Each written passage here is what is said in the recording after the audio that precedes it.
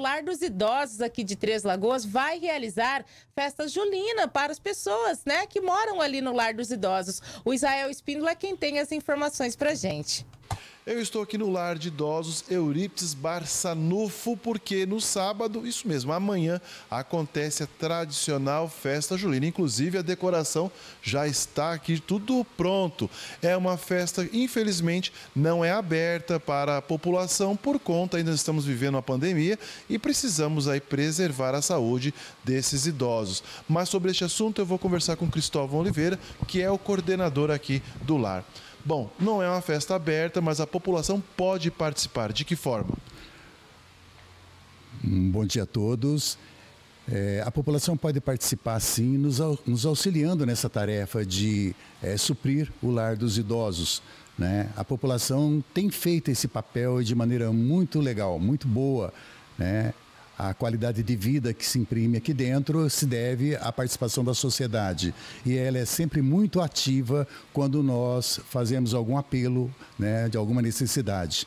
Por isso, nós temos um, um lar dos idosos com boa qualidade de vida, repito, com condições de recepcionar bem e, naturalmente, essa festa programada para no próximo sábado, ela reflete aquilo que nós temos aqui dentro, né?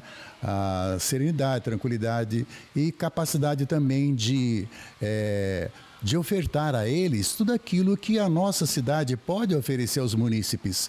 Afinal de contas, Três Lagoas é uma cidade hoje com uma arrecadação exemplar uma arrecadação muito boa. Né? O PIB do município de Três Lagoas contribui de maneira é, intensa para o PIB nacional, vamos dizer assim. Né?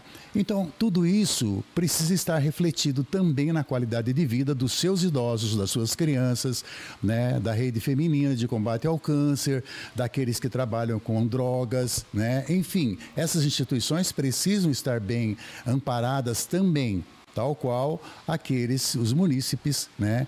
É, os outros munícipes. Então nós, nós estamos assim, é, programando para sábado uma festa com é, a participação de músicos, né?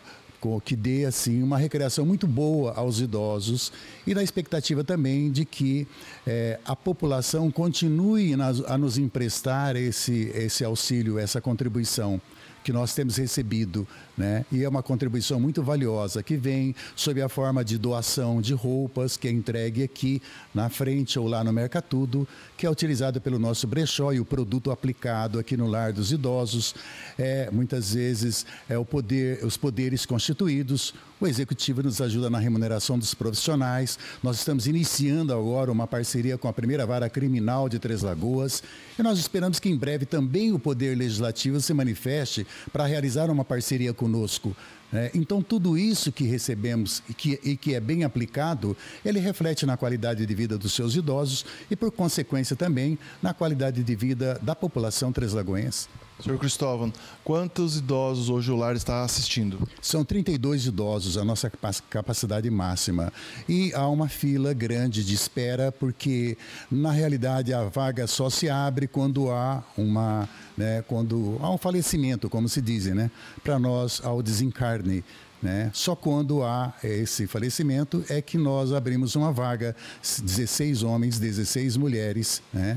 e eles permanecem aqui até o final da vida. Não nos importa muito é, se encontramos ou não os familiares. O que importa é a maneira como eles são tratados aqui, o respeito, a consideração, seis refeições por dia, né? e uma qualidade de vida que eu digo que é, é, é, das melhores, porque nós acompanhamos um grupo também de pessoas, de trabalhadores, de colaboradores aqui, profissionais, e nesse espaço eu digo que é muito importante nós termos aqui uma, um curso superior de enfermagem, cursos técnicos para formar técnicos em enfermagem, porque tudo isso reflete dentro da nossa casa é, de que acolhe os idosos. E é isso que nós estamos observando observando. E é isso também que nós vamos deixar transparecer no dia da nossa festa, no dia de sábado, né, para os idosos e ainda de maneira restrita para os familiares dos colaboradores, para um grupo restrito.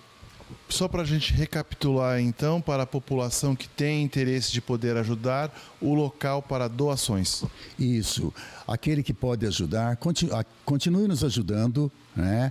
É, pode ser entregue a sua doação diretamente aqui no Lar dos Idosos. Né?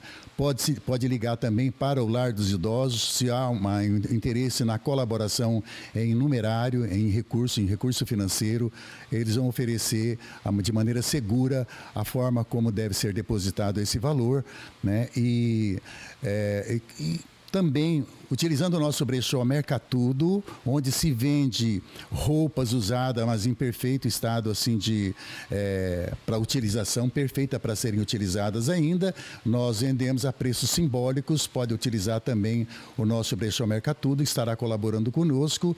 Enfim, da maneira como ou a própria pessoa se apresentar ao lar dos idosos, dizer: eu tenho uma hora por semana, eu gostaria de doar essa uma hora para um trabalho benemerente. Nós vamos encaixá-lo de acordo com a sua disponibilidade. Tá certo, muito obrigado pelas informações. Então tá aí, então neste sábado tem festa julina aqui no Lar dos Idosos.